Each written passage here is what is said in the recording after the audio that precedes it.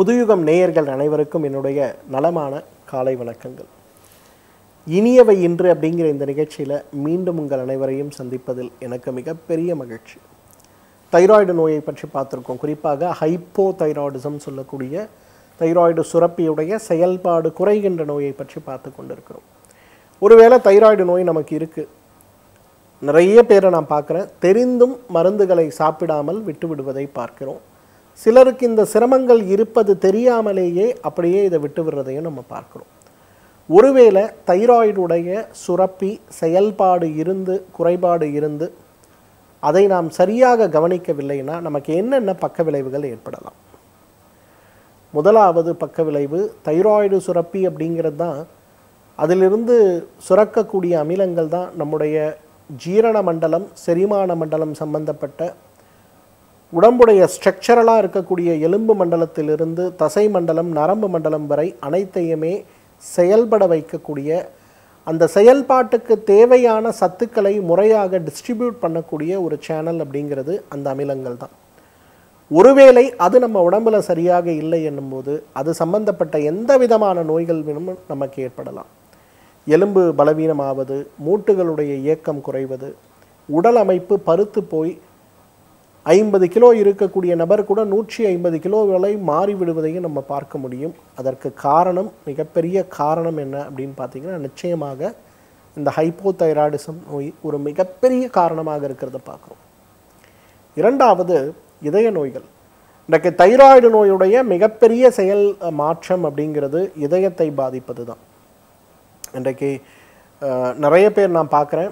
Thyroid வந்து ஒரு ஐந்து வருடத்திற்கு முன்பு ஒரு முறை மருத்துவரை பார்த்துருப்பாங்க. மருத்துவர் ஒரு மாத்திரை கொடுத்து மூன்று மாதம் சாப்பிடுங்க பிறகு வந்து பாருங்கன்னு சொல்லியிருப்பாங்க. ஆனால் அவங்க பார்க்காமலேயே அதே மருந்தை வருடக்கணக்கில் சாப்பிட்டு கொண்டிருப்பதை பார்க்கிறோம். எப்படி சர்க்கரை நோய்க்கு மூன்று மாதத்திற்கு ஒரு முறை மருத்துவரை முறையாக சந்தித்து ஒரு சிகிச்சை எடுத்துக்கொள்கிறோமோ அதே போல் தைராய்டு சுரப்பி நோய்க்கும் மூன்று மாதத்திற்கு ஒரு முறை பரிசோதனை செய்து மருத்துவரை சார்ந்து ஒரு சிகிச்சை எடுத்துக்கொள்வது அப்படிங்கிறது ரொம்ப ரொம்ப அவசியம். இன்றைக்கு முப்பத்தைந்து வயதிலிருந்து ஐம்பது வயது வரை நடக்கக்கூடிய திடீர் மாரடைப்புகள் அதனால் ஏற்படுகின்ற மரணங்கள் அப்படிங்கிற ஒரு கிளாசிஃபிகேஷனுக்குள்ளே போயிட்டு நம்ம அவர்களுக்கு இருக்கக்கூடிய நோய்களுடைய தன்மை என்னங்கிற ஒரு கிளாசிஃபிகேஷனில் பார்த்தோம்னா தைராய்டு நோய் இருந்து அதற்கான மாத்திரைகள் முறையாக எடுக்காமல் இருந்திருக்கிறார்கள் அப்படிங்கிற ஒரு தகவல் வரதை பார்க்குறோம்.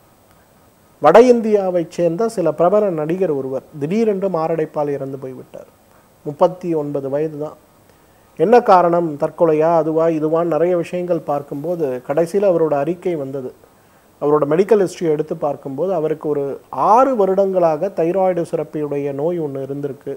ஆனால் அவர் அதற்கான முழுமையான ஒரு கவனத்தை செலுத்தாமல் மாத்திரை எடுக்காமல் இருந்ததால் அவருக்கு அந்த மாரடைப்பு ஏற்பட்டு உயிரிழப்பு ஏற்பட்டது. இது அவருக்கு மட்டும் இல்லை இன்றைக்கு சிறு வயதில் இருந்து இந்த சிரமத்தோடு இருக்கக்கூடியவர்களில் நூற்றில் ஐம்பது பேருக்கு இந்த ரிஸ்க் ஃபேக்டர் இருக்கிறத நம்ம மறந்து விடக்கூடாது இன்றைக்கு அதைவிட சிறப்பான பாதிப்பு தோள்களில் ஏற்படுகின்ற நோய்கள். இன்றைக்கு தைராய்டுடைய செ- செயல் குறைபாடு இருக்கக்கூடியவர்களில் நூற்றில் குறைந்தது பதினைந்து பேராவது ஏதாவது ஒரு வகை தோல் நோய்.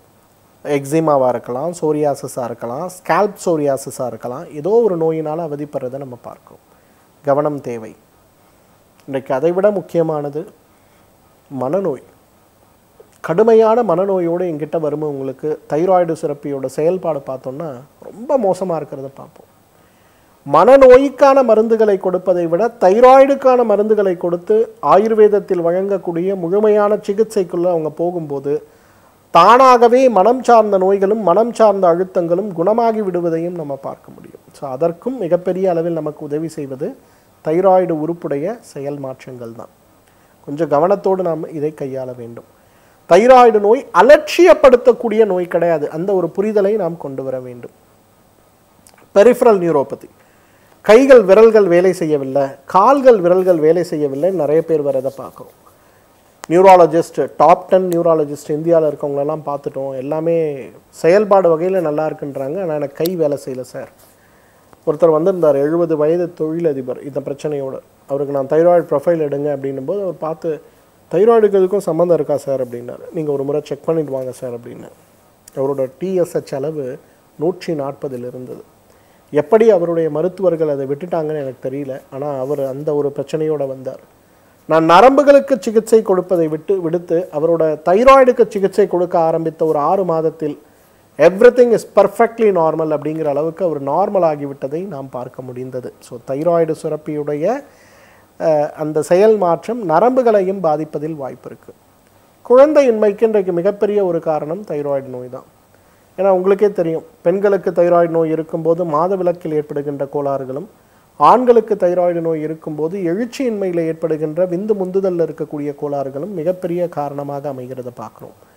குழந்தையின்மை மட்டுமல்ல ஒருவேளை கருவுற்று இருக்கக்கூடிய பெண் தைராய்டு நோயினால் பாதிக்கப்பட்டு இருக்கிறார்கள் அப்படின்னா அதற்கான முழுமையான சிகிச்சையை நாம் செய்ய முடியவில்லை அப்படின்னு வருதுன்னா நமக்கு ஏற்படுகின்ற மற்றும் ஒரு மிகப்பெரிய பாதிப்பு என்னென்னா பிறக்கின்ற குழந்தை சிறிது ஊனமாக பிறப்பதற்கு கூட வாய்ப்புகள் இருக்குது அதனால் கருவுற்று இருக்கக்கூடிய பெண்கள் அனைவரும் கவனத்தோடு தைராய்டு ப பரிசோதனை செய்து கொண்டு உங்களுடைய குழந்தை சிறப்பு மருத்துவர் அல்லது மகளிர் சிறப்பு மருத்துவர் என்ன உங்களுக்கு மருந்துகள் கொடுக்கிறார்களோ இந்த மருந்துகளை தவறாமல் நீங்கள் சாப்பிட வேண்டும். அதற்கான முயற்சியை தயவு செய்து எடுத்துங்க.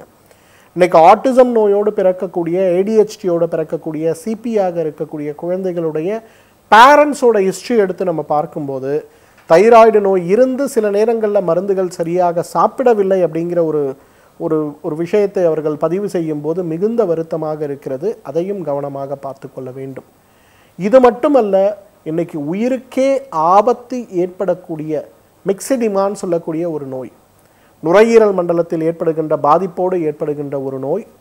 இந்த நோய் ஏற்படுவதற்கும் இந்த தைராய்டு சுரப்பியுடைய செயல் மாற்றம் இருந்து அதற்கான முழுமையான சிகிச்சையை நாம் எடுத்துக்கொள்ளாமல் இருப்பதற்கும் நிறைய தொடர்பு இருக்கிறத பார்க்குறோம். இதை பற்றி விவரமாகவே நாளை உங்களிடம் நான் பேசுகிறேன். அதுவரை உங்களிடமிருந்து விடைபெறுவது டாக்டர் கௌதமன். நன்றி வணக்கம்.